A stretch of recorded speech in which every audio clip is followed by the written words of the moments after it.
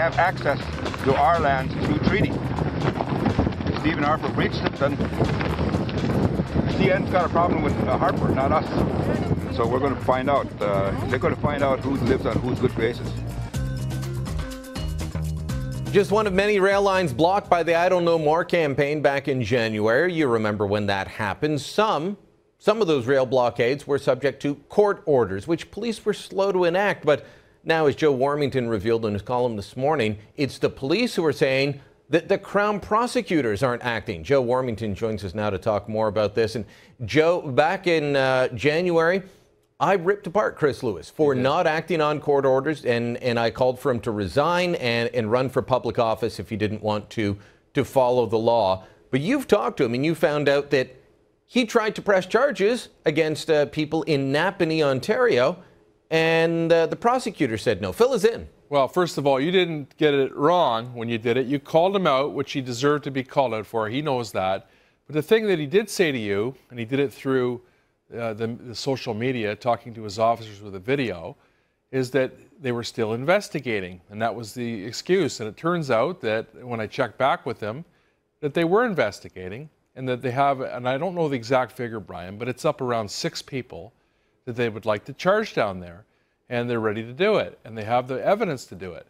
And lo and behold, the Crown Attorney says no, it's not in the public Here, Here's a quote from your uh, your column this morning in uh, Sun Media Papers, where you broke the news from Chris Lewis. He said a thorough investigation was conducted by our criminal investigators. They felt strongly that grounds to charge a number of key protesters criminally existed, particularly given that this blockade was more than a brief inconvenience to a few people. But it's the AG's office, the, the Crown prosecutors, which answer to the Attorney General of the province, said no, and this is the one that gets me. Uh, I want to read this and then you tell me what's going on here. This is a spokesman for Attorney General John Gerretsen who said it was determined that, taking into account all the circumstances, there was no longer a public interest in pursuing a prosecution. What the heck does that mean? Well, I, I think, you know, my own opinion is it means that there's uh, two sets of uh, rules here. The justice is two tiered one for Aboriginals and one for non-Aboriginals and uh, non-First Nations people. If we had been down there, the circumstances would be different. We'd be charged, the people that are locals, that are from Tyendinaga. That's the third time that they've blocked that rail line, by the way. That's a set of circumstances that can't be ignored either. Yeah. And so, you know, the reality is, though, when you handcuff your top cop in your province, one has to go. Either he has to go, as you said before, I didn't agree with that at the time, and now I think it's the Attorney General or the Premier that has to go. There's nothing more important than the rule of law. We've well, been... if there's if there's no rule of law, then it becomes the rule of men. And people decide like this. They, they don't treat everyone the same. And they say, well, the law applies to Joe, but it doesn't apply to Brian. And that's not fair. That's not fair to anyone involved. No, and it's not legal either. So, you know what? Again, this story, thanks to Sun News Network, is getting some play, but I noticed that really no one else is covering it because everyone's afraid of the issue. And the thing is that Brian and Westover, where they had the Enbridge uh, pipeline, Swampline 9 crowd, there's 13 of them charged. And there's some, I think it's basically non native, but I think that there's some native protesters involved in that as well. So obviously the public interest is different there. What we need is a clarification from the Minister, the Attorney General, uh, Gerretsen, to tell us exactly what is going on here. If not, you know they what, should Joe? resign. Uh, you said earlier there's uh, one, you know, the law applies in one way to uh, natives and one way to non-natives. And we're, you and I will both get emails uh, after the show's over saying, yeah, well, that's the way it's always been and it used to be bad for us.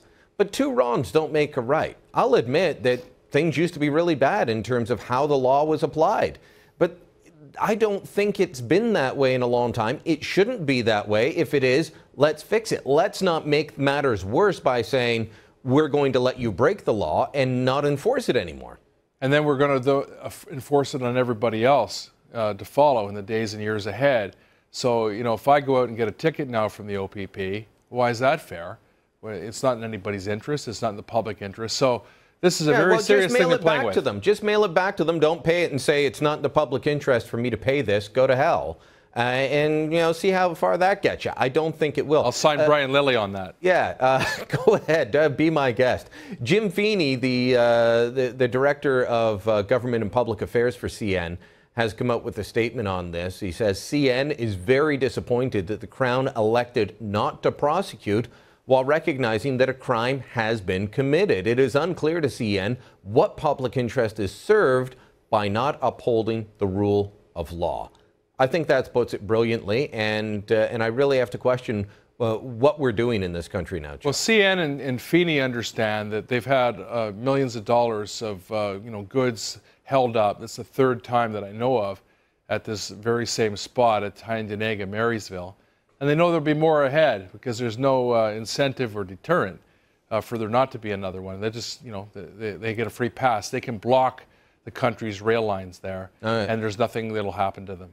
Let, let's sum up in the last minute we, have got left, Joe. We've got a government that, um, led by Kathleen Wynne, following in Dalton McGuinty's footsteps, that has uh, applies the law differently based on your race. Everything from Caledonia, which what started in 2006, it's an armed occupation still going on, to this latest move. Uh, they uh, spent hundreds of millions of dollars on gas plants to move them just so they could save seats. As you pointed out, you've got an education minister that won't do her own homework, so why should the kids do them? With Liz Sandals saying she doesn't read curriculum. You've got the controversial curriculum coming in. You've got all these different scandals going on. And still, I think they're going to win some of these by elections. People really, if you're in Ontario, I think people really need to wake up and say, we're not going to reward this kind of behavior anymore. Well, you're looking for a one-tier system, Brian. I mean, you know, that's. I guess you're looking for common sense. You're going to have to stop that. Yeah. Well, we'll have to uh, look for common sense another day on the show. Thanks, Joe. We'll chat later. Thank you.